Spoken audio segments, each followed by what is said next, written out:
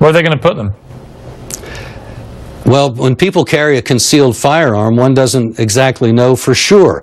Uh, and the element of surprise remains with the person carrying concealed, which means that somebody contemplating doing something horrible doesn't know which person or persons might be able to arrest him, uh, to, to stop him. And that's why our jurisdictions that have uh, easy access to concealed carry firearms enjoy lower murder rates than, say, the gun control mecca of Chicago, which does better than one murder a day.